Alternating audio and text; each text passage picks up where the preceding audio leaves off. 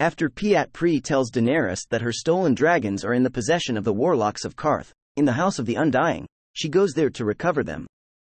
There, she sees different visions, including one of a Dothraki Khal's tent in a snowstorm, north of the wall.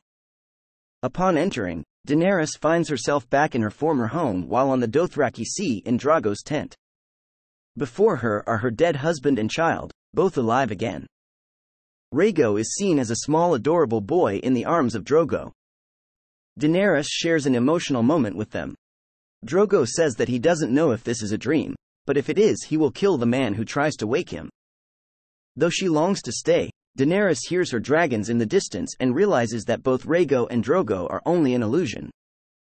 She turns and walks away, and as she goes, the emotion drains from Drogo's eyes.